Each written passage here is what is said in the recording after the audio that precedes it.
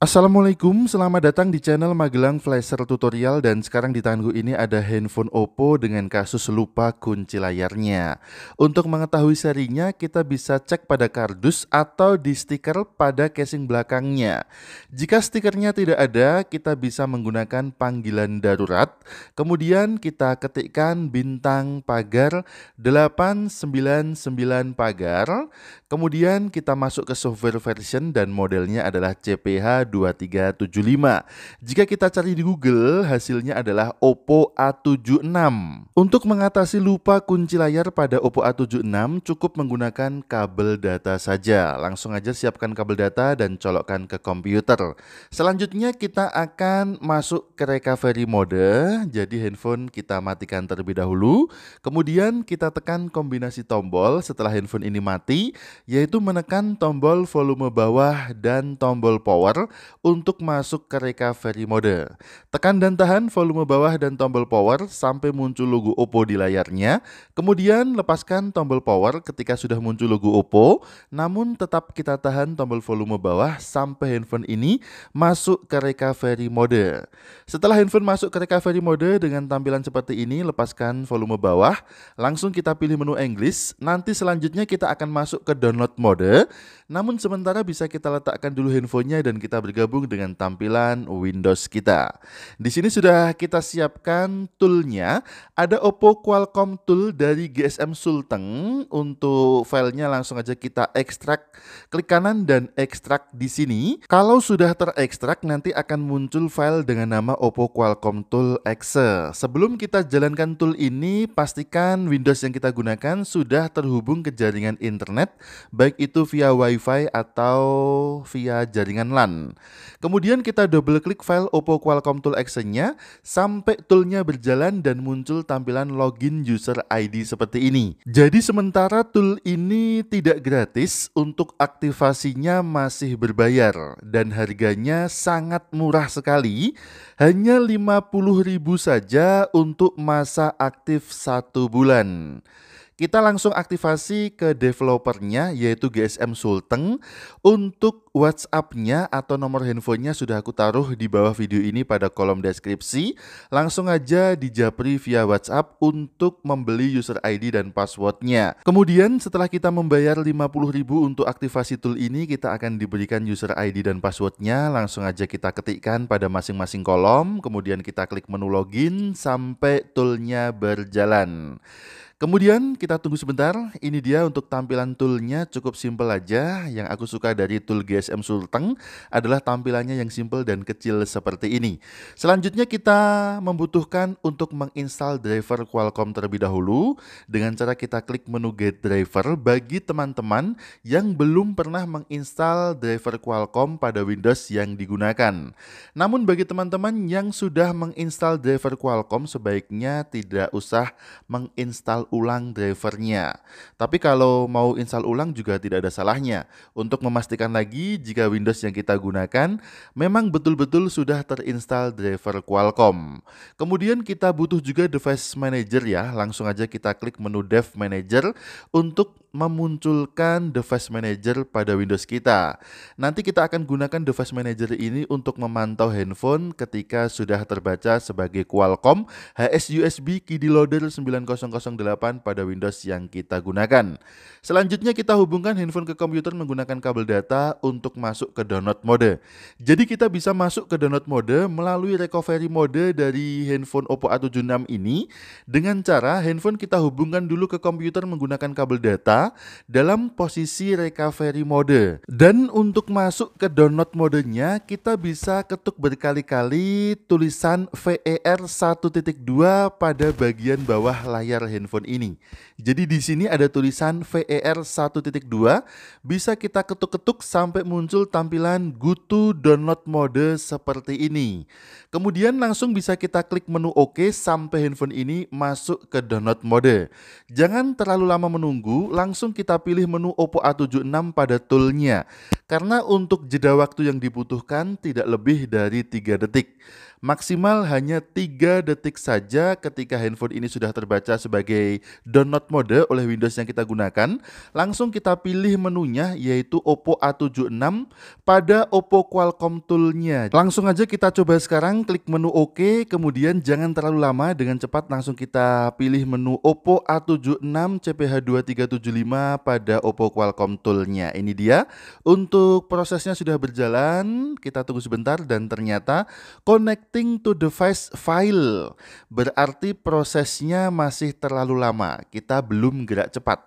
Kita harus betul-betul cepat ya ketika handphone ini sudah masuk ke download mode, maka dengan cepat langsung kita pilih menu Oppo A76 CPH2375 pada Oppo Qualcomm Tool tersebut. Jangan terlalu lama delaynya. Pokoknya ketika kita klik menu OK pada notifikasi go to download mode, handphone akan langsung blank dengan tampilan layar hitam. Maka pada saat itu juga langsung kita pilih Oppo A76 CPH2375 pada Oppo Qualcomm toolnya. Sekarang jika gagal, kita akan ulangi lagi masuk ke recovery mode dengan cara yang sama seperti tadi.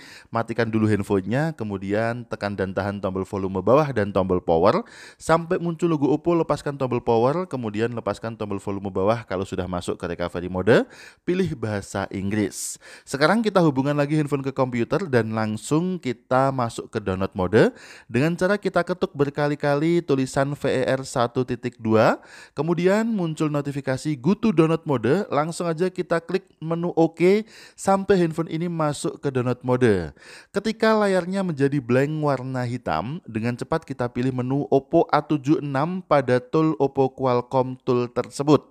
Ini dia handphonenya sudah mulai terbaca oleh toolnya, kita tunggu sebentar.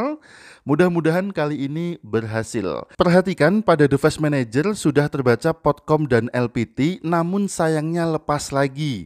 Walaupun keterangan pada toolnya erasing FRP oke, okay, erasing user data oke, okay, kemudian rebooting device oke, okay, namun tadi untuk Qualcomm HS USB Key Loader 9008 atau download mode pada device manajernya hanya muncul sekejap kemudian hilang lagi, yang artinya download modenya lepas dari Windows ini. Walaupun keterangan sukses pada toolnya ketika download mode lepas, maka tetap saja gagal kita harus mengulangi lagi. Ketika proses berjalan pada toolnya, pastikan download mode atau Qualcomm HS USB Key Loader 9008 pada device manager tetap terbaca. Tadi hanya muncul sejenak kemudian hilang lagi. Artinya download mode yang terbaca oleh Windows ini mendadak lepas ya.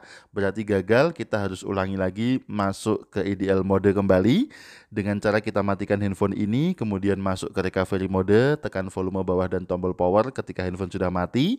Kemudian tahan dulu tombol volume bawah kalau handphone sudah berhasil kita nyalakan dan muncul logo Oppo di layarnya. Masuk ke recovery mode, pilih bahasa Inggris dan kita hubungan lagi handphone ke komputer menggunakan kabel data. Jadi ulangi terus, jangan sampai menyerah. Oke, kita masuk ke download mode dulu. Kita ketuk berkali-kali tulisan VER 1.2 di bagian bawah layarnya ini sampai muncul notifikasi go to download mode, kemudian bisa langsung kita klik OK sampai handphone ini masuk ke download mode. Ketika layarnya sudah blank dengan cepat kita pilih menu Oppo A76 pada toolnya dan perhatikan ini dia handphone sudah terbaca sebagai Qualcomm HS USB Key Loader 9008 pada COM sekian di device manager. Kemudian toolnya juga sudah merespon erasing FRP OK, erasing user data OK, rebooting device OK. Tampaknya pada Oppo Qualcomm toolnya masih ada pergerakan kenapa di sini ada dua kali erasing FRP dan user data ya? Biasanya nggak begini. Nanti bisa tanyakan langsung sama developernya. Yang penting prosesnya berhasil. Oke, sekarang kita akan lihat hasilnya. Untuk beberapa handphone Oppo yang kita lakukan erase user data dan erase FRP menggunakan Oppo Qualcomm Tool untuk menghapus kunci layar yang lupa, memang tidak semuanya langsung restart otomatis. Yang terjadi pada handphone ini adalah terjebak di download mode dan untuk menyalakannya tinggal kita tekan aja tombol power dan tombol volume atas secara bersamaan sampai handphone ini menyala. Jadi jangan panik ya, handphone tidak mati total, hanya terjebak dalam posisi download mode. Setelah kita tekan tombol volume atas dan tombol power secara bersamaan, otomatis handphone akan langsung menyala dan muncul logo Oppo di layarnya. Sebagai pertanda selanjutnya jika proses kerja yang kita lakukan tadi sudah berhasil adalah munculnya tampilan wipe data. Kemudian kalau sudah selesai proses wipingnya, handphone akan otomatis restart dan melakukan proses loading yang lumayan lama. Untuk menunggu proses loadingnya, bisa kita letakkan dulu handphonenya dan kita tunggu aja. Jadi seperti itu caranya untuk menghapus kunci layar pada handphone Oppo A76. Biasanya ada pertanyaan seperti ini, Oppo Qualcomm Tool tersebut bisa support untuk Oppo seri apa saja? Silahkan teman-teman cek saja. Jika seri Oppo muncul pada tool tersebut, berarti sudah support. Namun jika belum muncul, berarti belum support. Kemudian ini dia untuk proses loadingnya sudah selesai, handphone langsung masuk ke tampilan pilih bahasa. Tinggal kita setup aja sampai ke tampilan menu.